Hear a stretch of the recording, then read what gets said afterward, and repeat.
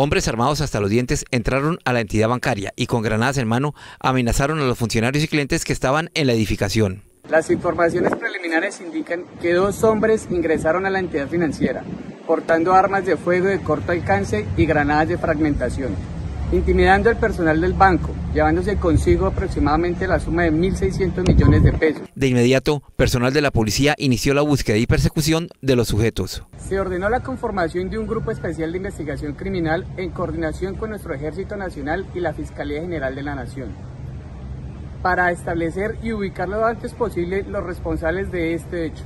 De igual manera, personal de policía se encuentra en el lugar recopilando la información y un operativo de plan candado a la entrada y la salida de los municipios aledaños. El dinero hurtado se tenía destinado para el pago de nóminas a diferentes empresas que operan en la población. Esta es la segunda vez en menos de un mes que una entidad financiera es víctima de un atraco en Teorama.